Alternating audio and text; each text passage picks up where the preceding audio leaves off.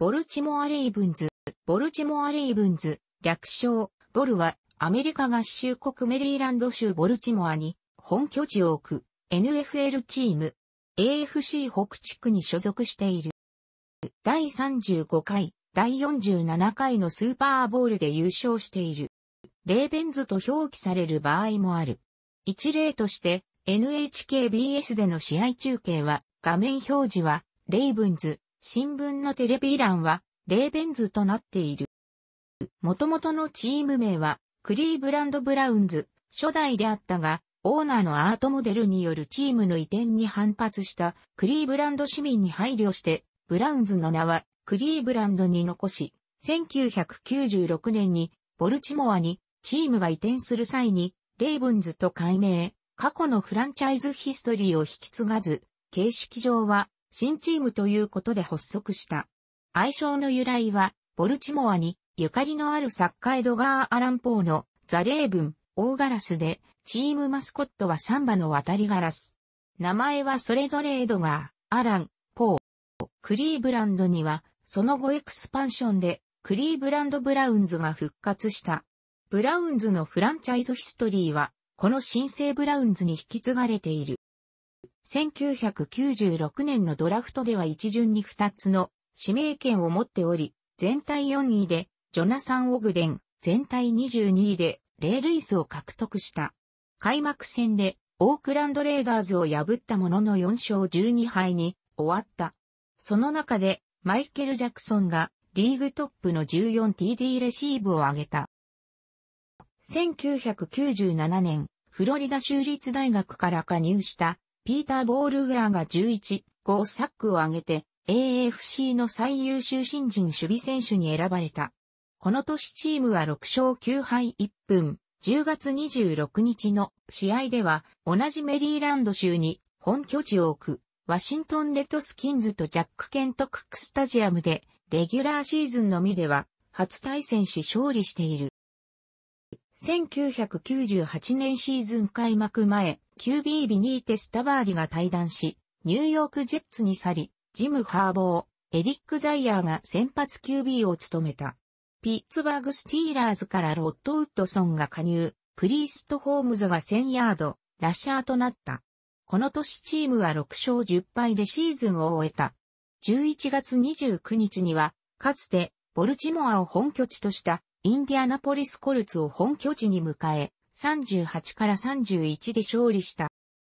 1999年、テッド・マーチブローダに代わって、ブライアン・ビリックがヘッドコーチに就任した。セントルイスラムズから獲得したトニー・バンクスは、キャリア最高の 17TD、QB レーティング81.2の成績を残した。WR カドリー・イスマイルは1000ヤードを獲得した。チームは最初の11試合を4勝7敗で終えたが、そこから8勝8敗でシーズンを終えた。2000年3月27日、レイブンズの49%の株がアートモデルからスティーブ・ビスティオッティに売却された。ビスティオッティは残り51%の株も3億2500万ドルで2004年4月9日に買い取った。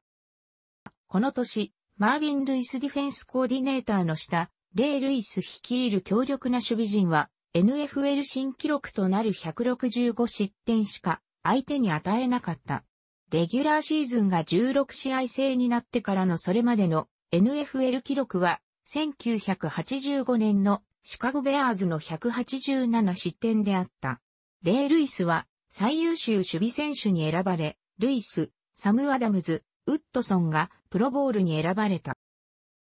開幕からトニー・バンクスが先発 QB を務め、3勝1敗のスタートを切ったが、10月にはオフェンスがタッチダウンを一つも上げられず、5勝4敗となったところで、トレント・ディルファーが先発 QB となった。新人 RB、ジャマール・ルイスが1364ヤードを走った。オフェンスが5試合連続でタッチダウンを上げられなかったまも、ディフェンスの活躍で2勝し、シーズン最後の7試合を全勝して、12勝4敗で、シーズンを終え、プレーオフ初出場を果たした。ワイルドカードプレーオフでは、本拠地 PSI ネットスタジアムで、デンバーブロンコスを21から3で破った。ロードとなったディビジョナルプレーオフのテネシータイタンズ戦では、10から10で迎えた第4球に、アルデルグレコの FG をブロックし、アンソニー・ミッチェルが、リターン TD、レイ・ルイスのインターセプトリターン TD もあり、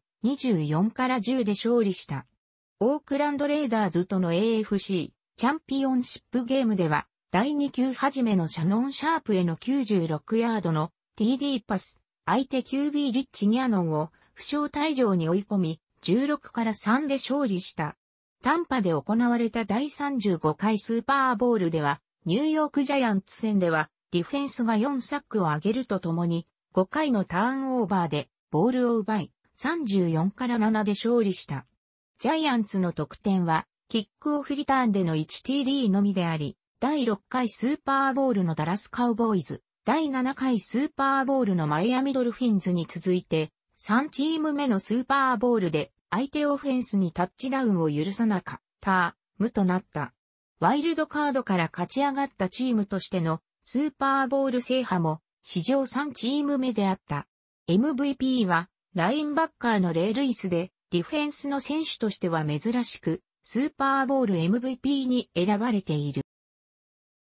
2001年、エルビス・ガーバックが先発 QB となった。ジャマール・ルイスがトレーニングキャンプの初日にシーズン絶望となったこともあり、オフェンスが振るわず、最終週にミネソタバイキングスを破り、10勝6敗でプレーオフ出場を果たした。プレーオフ初戦ではマイアミドルフィンズから3回のターンオーバーを奪い、相手オフェンスを151ヤードに抑えて20から3で勝利した。ディビジョナルプレーオフのピッツバーグスティーラーズ戦では、ガーバックが3インターセプトを喫し、10から27で敗れた。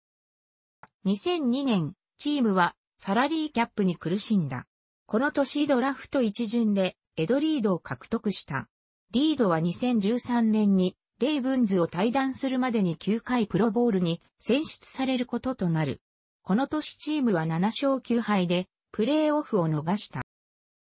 2003年ドラフト1巡全体10位でテレルサックスを獲得した。また2003年のドラフト2巡、2004年のドラフト1巡指名権をニューイングランドペートリオッツにトレードし、全体19位でカリフォルニア大学のカイル・ボラーを獲得した。ボラーはこの年開幕から先発 QB となったが、シーズン中盤に負傷し、アンソニー・ライトが先発 QB となった。5勝5敗で迎えたシアトルシーホークス戦、残り7分で24から41と17点リードされたところからオーバータイムに持ち込み、44から41で逆転勝利した。最後の6試合で5勝を挙げ、10勝6敗で AFC 北地区での初優勝を果たした。ジャマール・ルイスはこの年、エリック・ディッカーソンの NFL 記録にわずか39ヤード、及ばない2066ヤードをり、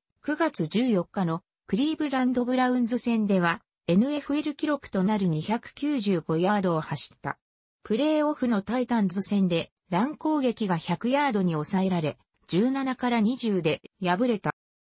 2004年、ディオン・サンダースを獲得した。チームは7勝9敗で、プレーオフを逃した。この年、15勝1敗となったスティーラーズを唯一、破っている。2005年、WR が手薄だったチームは、タイタンズのデリック・メイソンを獲得、ドラフトでマーク・クレイトンを獲得した。6勝10敗に終わったが、マンデーナイトフットボールで、グリーンウェイパッカーズを48から3で破り、スーパーボールチャンピオンのスティーラーズにも勝利した。2006年、QB、スティーブ・マクネアの下、チームは創設以来初めて開幕から4連勝した。この年、シーズン中盤にジム・ファセルオフェンスコーディネーターを解任。その後チームは5連勝し、第13週のシンシナティベンガルズ戦には、敗れたもののスティーラーズを敵地ハインツフィールドで 1TD に抑えて勝利するなど、球団記録となる13勝3敗でシーズンを終えた。インディアナポリスコルツとのディビジョナルプレーオフで、マクネアガにインターセプトを騎し、6から15で敗れた。2007年、怪我人が続出した。12月16日には、その年まだ未勝利のマイアミドルフィンズにオーバータイムの末、16から22で敗れた。この年5勝11敗に終わった。12月31日にビリックヘッドコーチは解任され、フィラデルフィアイーグルスのスペシャルチームコーチのジョン・ハーボーが後任となった。2008年、QB ジョー・フラッコをドラフトで獲得した。第2週のヒューストン・テキサンズ戦がハリケーンアイクのため順延されたため、チームはプレーオフを合わせて18週連続で戦うととなった。スティーラーズ、タイタンズ、コルツに連敗し、2勝3敗となったが、最後の11試合で9勝し、11勝5敗となり、第6シードでプレーオフに出場した。フィラデルフィア・イーグルス戦では、エドリードが相手 QB ケビン・コルブのパスをインターセプト、自身の NFL 記録を更新する108ヤードのインターセプトタッチダウンを決めた。これまでの記録は2004年の106ヤードであった。第16週のダラスカウボーイズ戦では、第4球に、ウィリス・マゲーヒーが77ヤードの TD ラン、ドゥロン・マクレインが82ヤードの TD ランを当て、33から24で勝利した。ワイルドカードプレーオフでは、マイアミドルフィンズから4インターセプトを奪い、27から9で勝利した。タイタンズの本拠地 LP フィールドで行われたディビジョナルプレーオフでは残り53秒にマット・ストバーの FG が決まり、13から10で勝利した。ハインツフィールドでのスティーラーズとの AFC チャンピオンシップでは14から23と敗れてスーパーボール進出はならなかった。フラッコはルーキー QB としてプレーオフで2勝挙げた最初の QB となった。2009年もワイルドカードでプレーオフに出場を果たしニューイングランドペイトリオッツを破ったがインディアナポリスコルツに敗れてシーズンを終えた。2010年もプレーオフに進出したが、ディビジョナルプレーオフでピッツバーグスティーラーズに敗れた。2011年、チームはレギュラーシーズンでスティーラーズに2勝し、地区優勝を果たし AFC 第2シードとなる12勝4敗でシーズンを終えたが、カンファレンス決勝で敗れた。2012年は10勝6敗で、北地区を1位で通過。第4シードで迎えることとなったプレーオフ初戦前に長年守備陣の用として君臨したレイ・ルイスが引退を表明した。ルイスの本拠地最終試合となったインディアナポリスコルツ戦を24対9で制した後、デンバーブロンコスをオーバータイムまでもつれる戦いの末38対35で下し、AFC チャンピオンシップではニューイングランドペイトリオッツを28対13で撃破。そして初優勝時以来の進出となったスーパーボールではヘッドコーチであるジョン・ハーボーの弟ジムが率いるサンフランシスコ 49ers を34対31で下し、二度目のスーパーボール優勝を決め、ルイスの花道を飾った。2014年1月27日、デトロイトライオンズのヘッドコーチに就任したジム・コールドウェルオフェンスコーディネーターの後任に、ヒューストンテキサンズのヘッドコーチだったゲイリー・キュービアックが就任した。オフシーズンの補強で、カロライナ・パンサーズで長年活躍した WR スティーブ・スミスや、テ、オーエン・ダニエルズ、RB ジャスティン・フォーセットらを獲得した。2月15日、RB レイ・ライスと、その婚約者、同年3月に結婚がニュージャージー州アトランティックシティのカジノで殴り合ったことで逮された。この殴り合いでライスの婚約者は意識を失っており、3月27日、ライスは大陪審より第3級過重暴行罪で起訴された。ライスは当初7月24日に2試合の出場停止処分となったが、9月にエレベーター内部でのライスによる暴行のビデオ映像が公開されると、バラク・オバマ大統領まで公式コメントを出すな非難が集中し、レイブンズは彼を解雇、NFL は無期限の出場停止処分を行った。その後、無期限停止処分は11月末解除された。ワイルドカードでプレーオフ出場を果たしたが初戦で敗退した。2015年1月、オフェンスコーディネーターのキュービアックがデンバーブロンコスのヘッドコーチに就任した後、シカゴベアーズのヘッドコーチで、ブラウンズ時代にもオフェンスコーディネーターを務めたマーク、トレストマンが公認となった。2015年、2016年、2017年と3年連続してプレーオフ出場は逃した。2018年は最初の9試合を4勝5敗と苦しみながらも負傷した QB ジョー・フラッコに変えて QB スターターをラマー・ジャクソンとした後は7試合を6勝1敗で乗り切り最終週で地区優勝を遂げた。プレーオフでは初戦で敗退した。シーズンオフ、フラッコをデンバーブロンコスにトレードした。楽しくご覧になりましたら、購読と良いです。クリックしてください。